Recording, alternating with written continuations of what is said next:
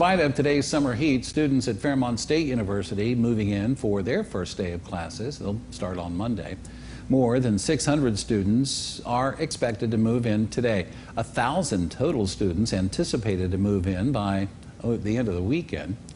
Other events scheduled to take place over move-in weekend, such as movie night, a hog roast, and laser tag. Our first time freshmen that are coming in for the last two years have actually been through this pandemic now, their junior and senior years of high school. So we know that they're excited and looking forward, you know, to having some sense of normalcy. It's a small enough school to where like you get those personal connections, especially with professors and other students. So you usually see people around campus that you know pretty well, and it just feels like a one big family our, our classes keep on growing, so there's a lot of new faces to learn. And enrollment for classes will remain open until August 12th.